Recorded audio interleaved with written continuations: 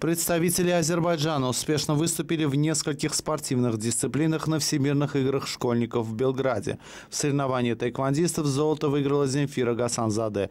Серебро в активе Вугара Асланова. Бронзовым призером стал Харун Салманзаде. Ранее отличились каратисты, завоевавшие 6 медалей. Золотым призером соревнований в возрастной категории 14-15 лет стал Рашид Сулейманов. Серебряные медали завоевали три спортсмена.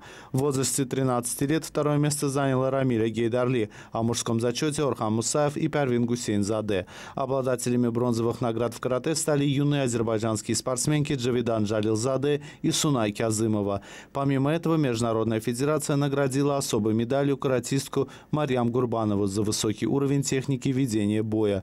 Три бронзы завоевали в Белграде и дзюдоисты Гасан Гурбанлы, Ахмед Рустамов и Гусейн Эйвазлы.